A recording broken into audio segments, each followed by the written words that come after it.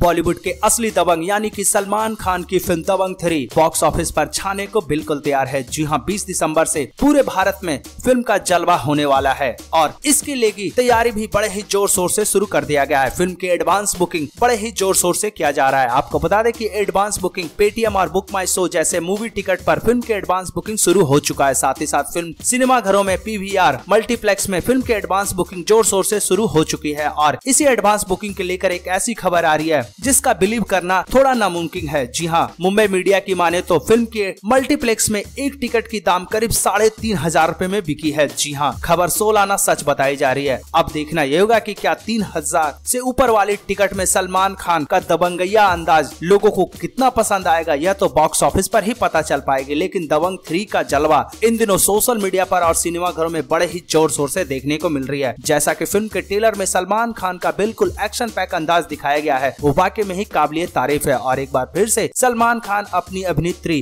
सोनाक्षी सिन्हा के साथ जोरदार आइटम तड़का करते हुए और लटके झटके के साथ साथ दबंगैया स्टाइल में सभी दर्शकों का भरपूर मनोरंजन करने वाले हैं साथ ही साथ मुन्ना बदनाम हुआ में तो सलमान खान का डांस ही तो काबिलिय तारीफ है और ये गाना काफी ज्यादा सर चढ़कर बोल रहा है लोगों की जुबान पर गाना चढ़ा हुआ है अब देखना होगा की बॉक्स ऑफिस पर सलमान खान का जलवा कितना बरकरार रहता है क्या फिल्म सौ करोड़ से ऊपर की कमाई करेगी या तो फिल्म बीस तारीख के बाद ही पता चल पाएगी